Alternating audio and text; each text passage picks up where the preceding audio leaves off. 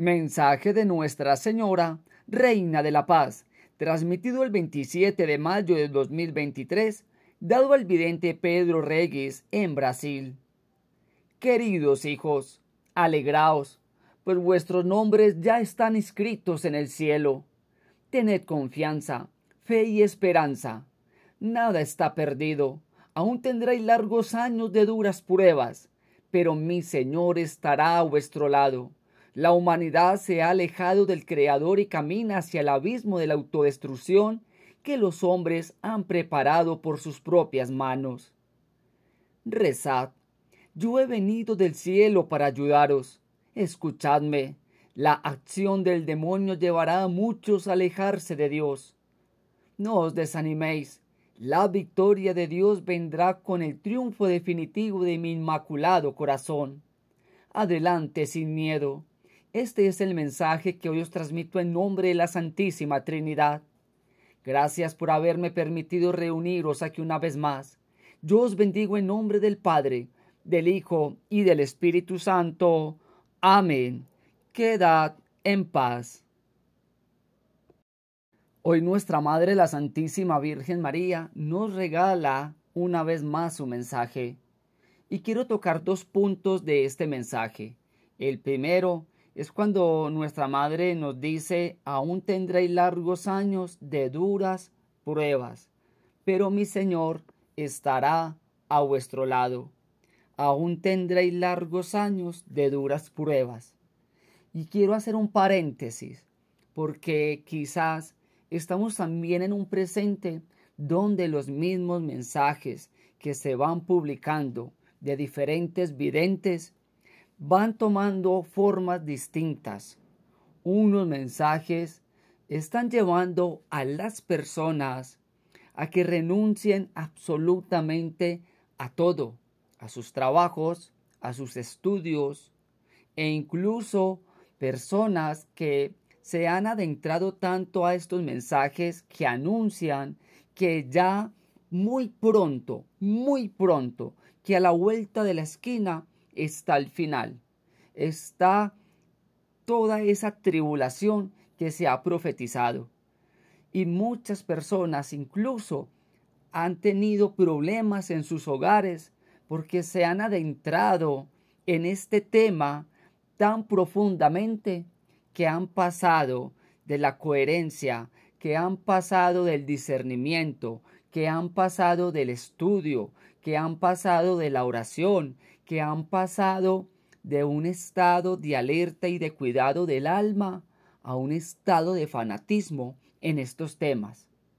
He conocido familias que han tenido que retornar de un refugio, porque años atrás lo dejaron absoluta mente todo, porque ya era el momento, porque ya todo se iba a dar, porque iban a llegar miles y miles de catástrofes y que si no se estaba en un refugio no se iban a poder salvar. Y hoy en día esas personas están nuevamente incorporadas en la sociedad, intentando volver a rescatar su vida, intentando volver a tener una vivienda propia, intentando volver al mundo laboral. Miren, el contexto profético se está marcando con mucha fuerza.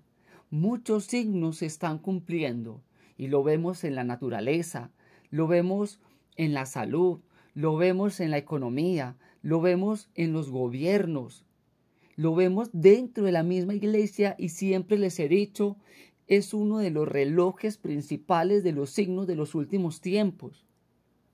Pero yo te hago esta pregunta. Aún nuestra vida tiene que continuar. Yo, por ejemplo, que estudio todos estos temas, tengo que elaborar, porque tengo que comprar el sustento para mi familia. Tengo que atender a mi esposa, a mis hijos, a mi familia debo seguir trabajando fuerte en este mundo. Pero dentro de lo que yo hago, prima mi salvación y prima dar testimonio. Ayer estando en la Santa Eucaristía, el sacerdote tocaba un punto muy importante y di gracias a Dios por las palabras de este sacerdote en la homilía, cuando decía, somos aproximadamente 1.400 millones de católicos.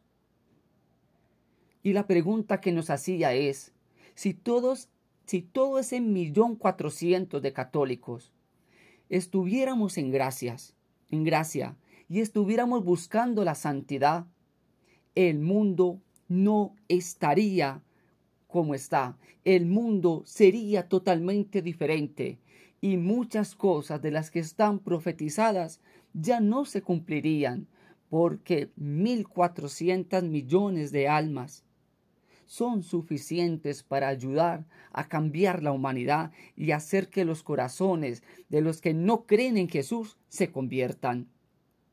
Pero él decía lo siguiente, lamentablemente, de esos de ese, de esos, de esos, de ese mil cuatrocientos millones de católicos, muy pocos, muy pocos caminan en la santidad, muy pocos caminan en gracia. Y ponía este ejemplo. El asesino, antes de ir a cometer su crimen, pone en su revólver un escapulario, o va y visita un templo y le entrega su misión a la Virgen. Y esos hacen parte del grupo de los católicos. Y ponía muchos más ejemplos. Y decía lo siguiente, al final la iglesia será de unos pocos, de unos cuantos, pero esa iglesia será dirigida por el Espíritu Santo. Así que tenemos que tener muy mucho cuidado en cómo nosotros vivimos e interpretamos estos últimos tiempos, porque los eventos van a seguir aconteciendo. Y si no tenemos madurez espiritual sobre esto que estamos viviendo y sobre estos temas tan puntuales, pues vamos a perder la cordura y vamos a perder esa paz interior y vamos a llenarnos de miedos, de angustias. Y no vamos a actuar en son del agrado de Dios, sino que vamos a actuar en son de supervivencia. Y recuerden que lo más importante es preservar el alma, porque independiente de los terremotos, los volcanes, la verdadera batalla que ha ejercido el demonio es sobre el alma, sobre el alma. Y es aquí donde quiero aprovechar y tocar el segundo punto de este mensaje que nos da nuestra madre cuando nos dice, la acción del demonio llevará a muchos a alejarse de Dios. Y sí que está trabajando fuertemente Satanás, Ave María Purísima, para alejar a muchos fieles de Dios. ¿Cuántas almas en este momento tienen su fe contaminada? ¿Cuántas almas se han alejado de Dios. ¿Cuántos jóvenes se están alejando de los sacramentos? ¿Cuántos jóvenes se están alejando de Dios? ¿Cuántos padres ya salen para la Santa Eucaristía y dejan a sus hijos en casa? ¿Cuántos padres hoy en día ya no oran juntos en familia? Ya no dan catequesis familiar. Cada vez más el demonio trabaja fuertemente para alejarnos de Dios. Y para eso utiliza el pecado.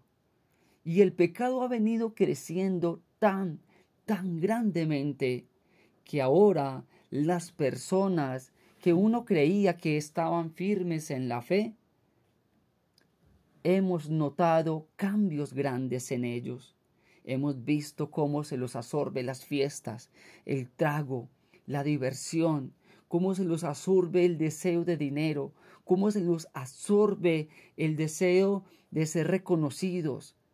Porque cuántas personas que conocíamos que eran humildes de corazón, ahora se están endiosando con todo el conocimiento que Dios les ha regalado.